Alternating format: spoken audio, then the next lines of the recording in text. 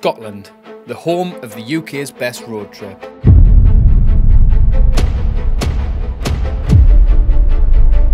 But this best road trip is not the NC500. This is the ultimate Scottish road trip. This journey covers the best beaches in the UK, the best driving roads in the UK, and some of the most awe-inspiring landscapes in the world. But best of all, this road trip can be done in as little as three days. Now in this video I'll be explaining the ultimate Scottish road trip. I'll break down step by step, location by location and help you plan the best road trip you'll ever go on in the UK. And I've also made a downloadable guide for this road trip and it goes over not just the route but all the best things to do, the best places to visit, the best off-grid park-up locations, any locations for services in the area, our top five favourite things to do and it's a complete guide for this specific road trip. I also have available the Ultimate Scottish Road Trip Bundle. This includes guides for the Isle of Harris, the Isle of Mull, the Isle of Arran, the Shetland and Orkney Islands, the Cairngorms as well as this Ultimate Scottish Road Trip Guide all Six guides are available in the link in the description for the small price of £10. Now I absolutely need to explain something about Scotland for anyone that doesn't know and that is that west is best. Now don't get me wrong, there is some beautiful locations right up north in Scotland and I love the Cairngorms too, but for the best scenery, the best driving roads and just all around the best of everything, you have to go west and that's where we start this road trip. The road trip begins here in Glasgow. Yes, I know that's a city and the scenery is not that great, but only a few miles north of Glasgow is where the scenery starts to become absolutely breathtaking. So bear with us, it'll be worth the wait. For first timers, driving through Loch Lomond can be a pretty epic sight. It's a beautiful place and there's plenty of places to stop and enjoy the views. But as good as Loch Lomond is, it's got nothing on some of the views you're about to see.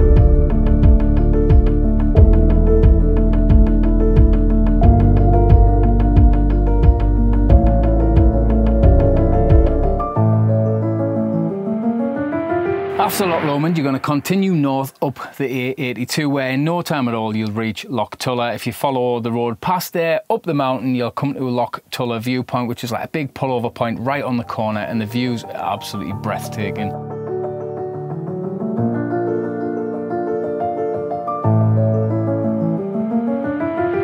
One thing that is worth noting as well is we often see a lot of red deer just below the viewpoint car park if you arrive here earlier on the morning or later on the evening. So it's worth keeping an eye out to see if you can spot any. Now after Loch Tulla, everything is about to go completely nuts. If you've never been up here before, take a breath, relax, take your time because this part you'll never forget. The drive through the valley down to Glencoe is one of the most iconic drives in the world.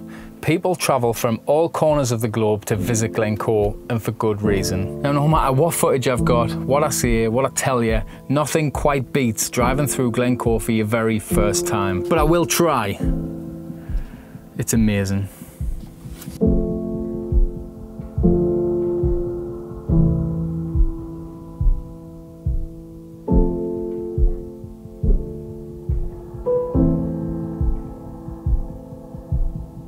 Now it is worth stressing that a lot of people go to Glencoe. It can get pretty busy. So with that in mind, you need to make sure that you're responsible with where you park and that you're not obstructing the road because that happens quite often. And more importantly, you need to make sure you take all your crap and all your rubbish home with you. It's a bit of a common joke that Scottish people hate tourism and half the time I couldn't even blame them if they did because often these places are left in absolutely disgusting condition. Fire pits left everywhere, rubbish left everywhere, bags, trash, cans, everything just left all over the place. It doesn't take long to ruin even the most beautiful of places. So please, please, please be respectful while you're traveling anywhere in the UK leave the place better than what you found it. Anyway, now that you've had that ridiculous drive through Glencoe, you'll actually come to Glencoe town itself, which is right on a beautiful lock. Again, scenery is beautiful. You come over a bridge, carry on up the A82 and you head towards Fort William. Fort William is the last big town that you're likely to encounter. So if you need any food, need to fill up your water, you want to go to the toilet, you've got McDonald's and all that sort of stuff there. So fill your boots while you're there because after this, things get a little bit more rural. Now, Fort William is where you may or may not see Ben Nevis. It's kind of there on your way in, the way we're driving.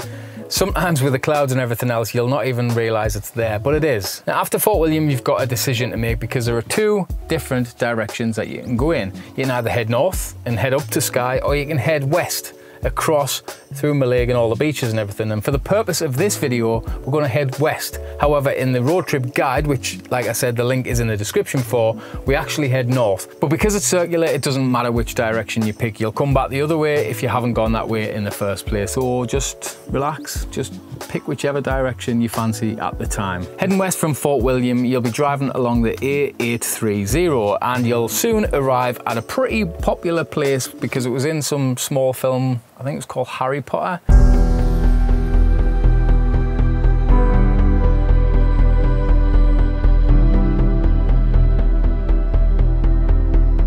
And there you come across another location that was in that little film called Harry Potter, which is actually Dumbledore's grave. It's a small island with some trees on it in the middle of a loch, and it's a beautiful place. I didn't even realise that's where it was from initially. I just remember the first time I seen it driving along that road, and I was like, that is absolutely beautiful. I think at the time there was some low mist, so we'd just see the island and some trees popping out, but what a place, what a beautiful place. After that, you're not far from some of the very best white sand beaches in the whole of the UK. Now, don't get us wrong, Harris is the best for beaches in the UK, in my opinion. However, nowhere else does everything else like this road trip does, so you have to bear with us. Plus, these beaches are different. Luskentyre is vast, it's huge, it's beautiful. These beaches around sort of Morar, Mallaig area are sort of small private coves that you can find a nice little spot to nuzzle into on a night time, watch that sunset over the ocean with Rum and everything else in the distance it's breathtaking. We love it. Take a couple of cans or a couple of drinks or a coffee or a tea or whatever it is down there where you just sit, enjoy the views, enjoy the scenery. It's absolutely gorgeous.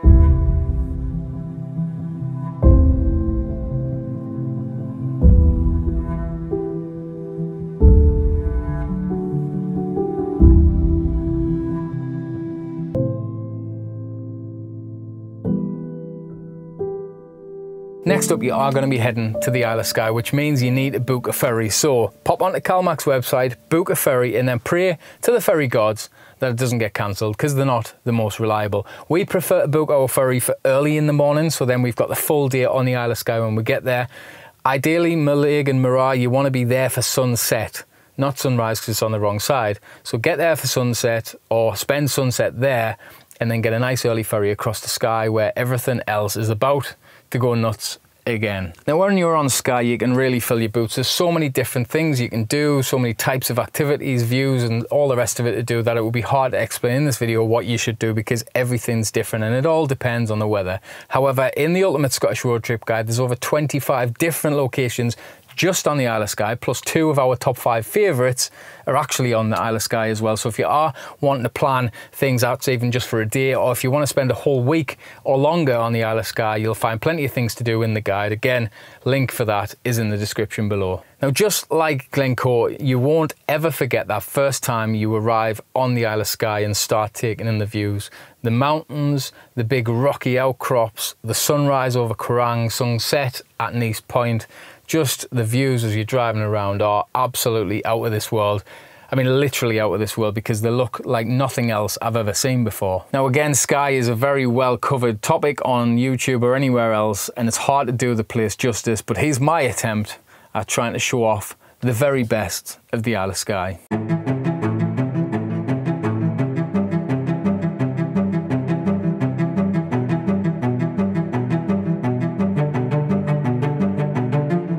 Once you've had your fill on the Isle of Skye, it's time to head back off the island. And this time it's a lot easier than getting there was because you're just driving off a bridge. You don't have to worry about ferries that might get cancelled. But there's a reason, because if you didn't get them ferries, you wouldn't have seen them beaches in the first place because it's a dead end. So anyway, come back off the island. First place you're going to come across is a place called Dornie. And there you'll come across Eilean Donan Castle, which is one of the most breathtaking unbelievable castle locations in the whole of Scotland. You'll have seen photos of it, you've probably seen videos of it, but you might never have seen it before. And if you haven't, you'll notice it the second you see it because it's beautiful.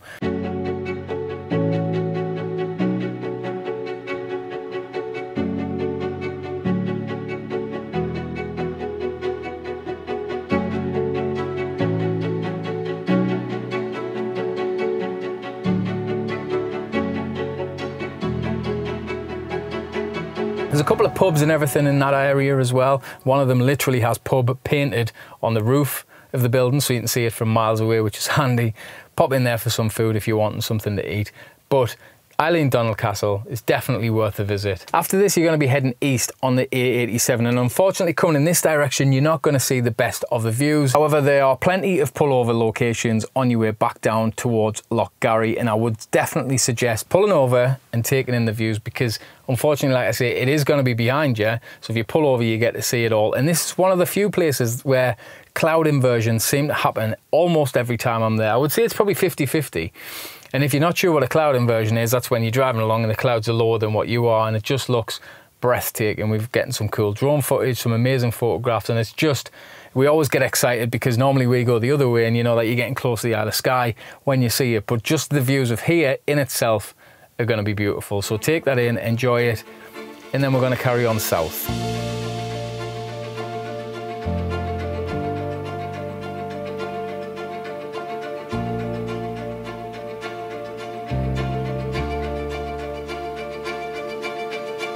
Now after this, you're going to be coming across a lock that's named Loch Lochy, and it's beautiful as well.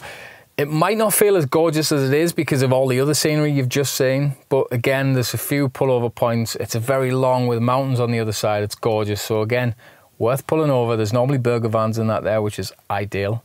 Pull over, get some food, sit outside, just look, take in the views. It's gorgeous. Can get windy though, but it's Scotland it can get windy everywhere. Now, not long after Loch Lochy, you're going to come to the Commando Memorial. So it's an old World War II bronze statue of three commandos with some breathtaking scenery in the background. It's a very popular tourist spot, so it's worth a visit to go and see it. It's big, it's beautiful, and you've got obviously the nice scenery behind it. So yeah, after that though, you're pretty much back at Fort William. Now you still have a couple of options. Option one, you can actually head back the way that you came and because it's Scotland, often what happens is when you're driving, the weather might not be great, so you just miss somewhere. And I've got no doubt in my mind that you won't have stopped at every single spot on your way up because probably the weather wasn't great at that specific time. So if you didn't do that there and the weather's decent on the way back, then it's worth stopping. Do that. Go and see the things you didn't get to see on the way out or you've got two more options. Now it's a hard one for us to say this one because Glencoe is so beautiful and it's always good to drive up the opposite way if you've never driven up that way. Both directions are beautiful so it's a hard one to recommend. However, you can skip Glencoe and head south down through Oban. And there's a different route that brings you around and brings you back towards Loch Lomond afterwards. Again, it's nice, it's pretty. For me personally though, missing Glencoe, I love driving through Glencoe. No matter how many times I've done it now, it's different every single time. And if you've only driven down the valley, you're kind of going to have to drive back up it because it's just such a different experience altogether. Now the final option is you can actually not go to Fort William at all and you can actually head up the A86 towards Laggan. Once you get up there, that's a beautiful view and everything else as well. The loch is gorgeous, there's some cool stuff. There was a Bond film filmed there and then you can head down the A9, I think it is, to Perth and come back to Edinburgh and come back that way. But again, if you're doing that and you've never done Glencoe other than on your way up, Personally, I'd recommend driving back up the valley of Glencoe and coming back the way you came because it just feels completely different. Now, I must add, there is places in Scotland that do all of these things individually better. Like I said earlier, Harris has probably the best beaches in the whole of the UK by a mile.